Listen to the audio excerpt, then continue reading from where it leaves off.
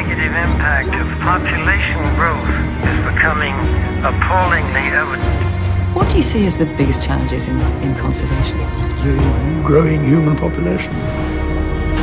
And to get to that goal, you have to monopolize the energy aspects of people around the planet. If you control those two aspects, the green revolution and the gene revolution, then you're able to control the entire planet, every resource on it, extinguish freedom for the rest of history.